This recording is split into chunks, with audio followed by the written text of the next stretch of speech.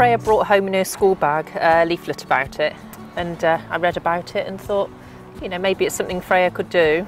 So I thought to start with we would just express an interest and return the form and take it from there really. I wanted her to get something in the school holidays where she could socialise with maybe some people who aren't just special needs and I wanted her to have new experiences and you know just try and grow as a person really. It is obviously very daunting when you've got a vulnerable child. It's a really really big thing to just send them off on this activity but we felt so confident with Mark. All in all the contact we've had with the staff that just totally set our minds at rest and we just knew that Freya was safe with the NCS and if there were any problems they would contact us. Everything was good really.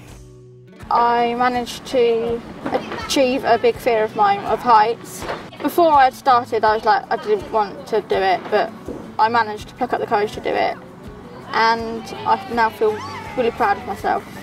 I think it was the like the support I was given, like the encouragement to carry on and not just give up.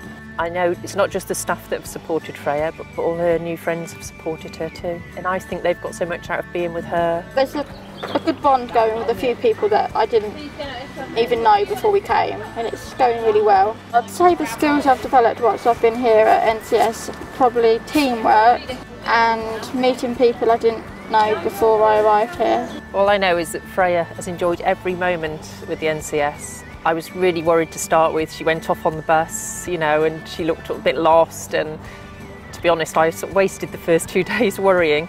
But then I was getting texts back from the staff just to say that she was having a really good time and they updated me and set my mind at rest and I could tell that she was really enjoying herself.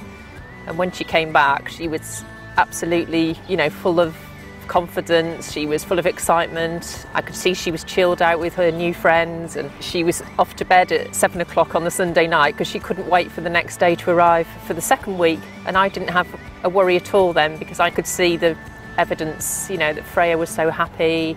And she snuggled up to me uh, actually at the end of the last week and she looked up at me and she says, I love, and she normally says my mum, but she says, I love group one.